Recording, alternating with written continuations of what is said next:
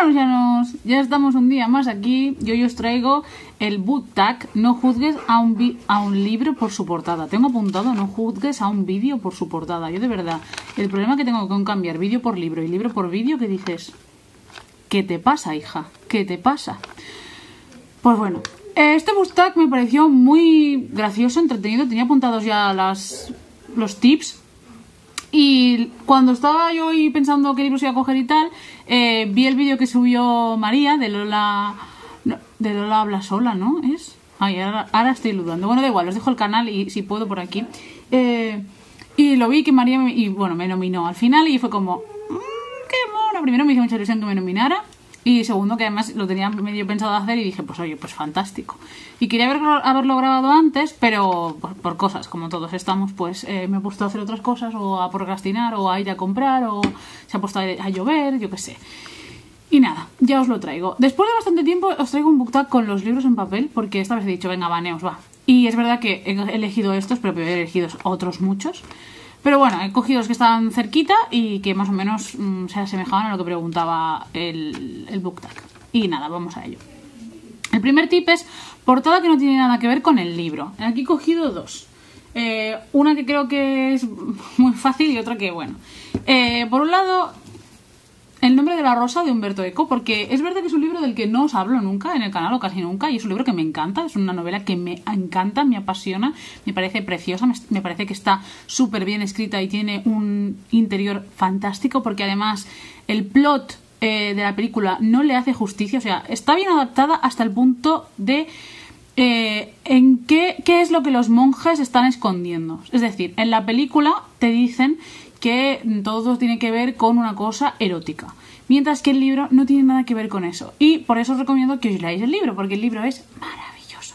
Y obviamente esta portada no tiene nada que ver con el libro, porque es, que es una portada roja, es de estas de así que quedan como bonitas, no tiene nada que ver. Entonces es un poco trampa, pero quería aprovechar la coyuntura para hablaros de este libro, que no os he hablado normalmente de él. Y aquí sí os traigo una que creo que es más el tip que preguntan, que es esta.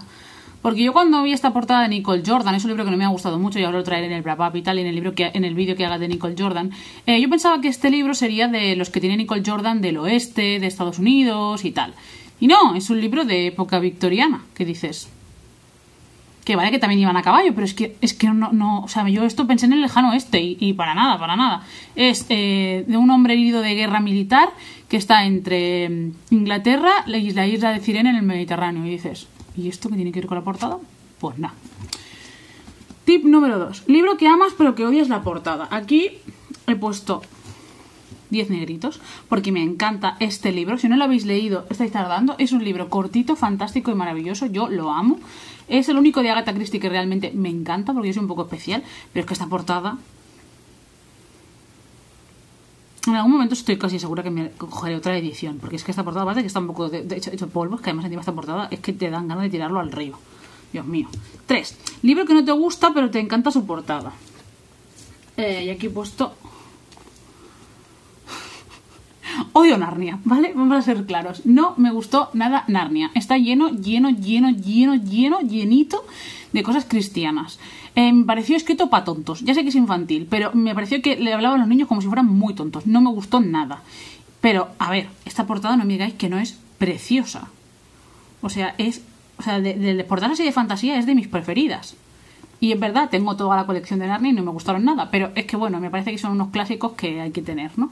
Pero esta portada me parece fantasía pura y el libro, pues no me parece fantasía pura. Luego tenemos libro que pensabas que te iba a gustar, pero no. Y aquí he traído tres que no están en el mismo punto. Por un lado tenemos La Celestina, de Fernando de Rojas. Yo realmente pensaba que este libro me iba a gustar y quería que me gustase, pero mmm, no pude con él. Se me hizo cansinísimo. Y es que no. Y mira que yo lo leí por gusto, no lo tuve que leer en el instituto ni nada de eso, pero es que no pude con él, de verdad. Mm, lo siento, Fernando de Rojas. Luego tenemos este libro, que yo pensaba que me iba a gustar porque me, realmente me dicho Punde y yo nos llamamos bastante bien y realmente me pareció clichés, predecible, pesado, largo, denso. Nada, no, definitivamente no. Y este es el que es un poco como asterisco, porque sí que me gustó, pero me gustó más el hecho de leer por fin Las Mil y Una Noches que realmente el contenido del libro. Se me quedó, o sea, este es como un poco que en plan de, me esperaba una cosa y fue otra, no tanto que no me gustara, porque a ver, tampoco es que no me gustara, pero me esperaba otra cosa. Y también porque, mm, por favor, admirar esta portada, qué preciosidad. Y cinco, libro que pensabas que no y al final te encantó. A ver, tanto como encantar como encantar, un segundo que quito los libros de en medio. Encantar, encantar tampoco, porque no me ha, no sé, no le he puesto 5 de 5, pero realmente tenía miedo con las guerreras de Ravenloft porque dije, ya verás, tú este va a ser uno de Highlanders de estos chungos. igual por el confinamiento, por cómo estamos, porque llevaba días que solo leía libros que no me gustaban, mm, tal, tal, tal, pues ha llegado este y he dicho, oye, bien, tío, bien, o sea, tiene cosas que dices, vale, eh, el protagonista es un poco machista, porque es un señor de 1100, el año 1100, o sea, es, es normal. Pero los comportamientos y todo son muy guays y, no salen cosas que dices, oh Dios mío, ¿qué es esto? No romantizan cosas feas y me gustó mucho la relación que tienen ellos dos y me gustaron mucho los personajes y estoy deseando leer el siguiente. Así que, pues por eso quería ponerlo aquí. Luego tenemos un libro con un giro en la trama que no te esperabas para nada. Por favor, no os he hablado suficiente de este libro, pero es que me parece una maravilla. Además, me leí el libro, luego vi la peli, luego me leí el libro, luego vi la peli otra vez y sigo sin tener claro qué pasa realmente. ¿Sabéis con, con, la peli de origen que al final es en plan de... Pero, pero sí o no, pues este es lo igual. Cuando te acabas este libro es como... Pero, pero, pero sí o no. Entonces me parece un plot impresionante. Es mi thriller favorito de todos los tiempos. Número 7. Un autor que leíste con pocas expectativas y al final te encantó. Mira, yo con Jennifer Probst lo digo. Yo pensaba que esta mujer iba a ser otro chick lead de estos nuevos, así que le gustan a la gente y que a mí no me gustan nada. Y la saga Matrimonio yo me la leí, me gustaron, pero no me enamoraron. Pero es que este libro, este libro es tan bonito, me gustó tanto, tanto. Ella protagonista, el protagonista, el perrete. ¡Ay! Me gustó muchísimo. Así que os lo recomiendo. Es el primero de una saga y de momento solo han traído los dos primeros. Sé que está publicado ya el tercero y en castellano no está. No sé si lo traerán porque mm, vete tú a saber. Pero como esto es Plaza Llanes, igual sí. Luego tenemos 8. Libro con clichés que no te gustaron nada. Mira, yo ahora estoy en el, en el mes de leer a Nicole Jordan y mira, Nicole Jordan, ¿qué te pasa? ¿Qué te pasa? ¿Por qué me haces esto?